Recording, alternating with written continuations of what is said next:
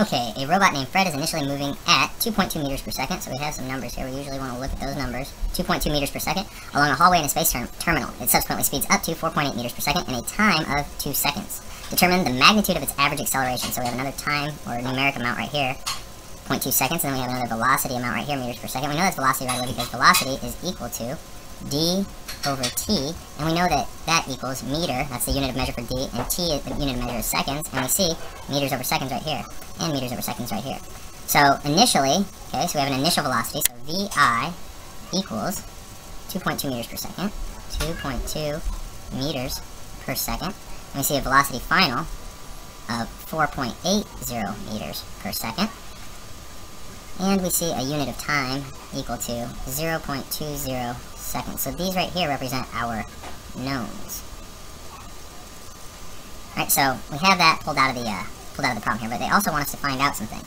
So let's look at this. We want to find our average acceleration. Okay, so our average acceleration is going to be a equals meters per second squared.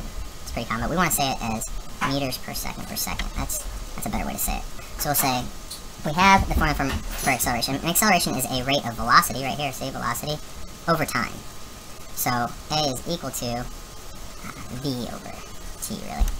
So, our unknown is acceleration. So we're going to come down here, and we're going to transpose this. Acceleration equals delta V over T, really, because it's a rate of change in velocity. Not just velocity, but a change in something. That's what acceleration is about. It's that change in velocity over time.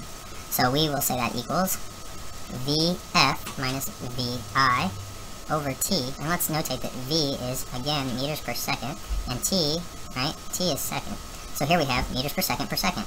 Meters per second per second. So we're all good there. So we're going to take our final velocity of 4.80 meters per second and subtract that from 2.2, our initial velocity, 2.20 meters per second. And we're going to, once we subtract that, right, we will divide it by 0.20 seconds.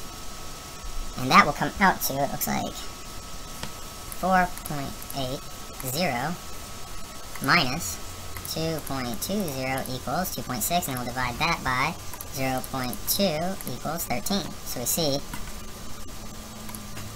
problem solved relatively easily, and it is equal to 13 meters per second, per second, right? Meters per second over second. Or we can say 13 meters per second squared, whatever convention you like. So final answer, right there.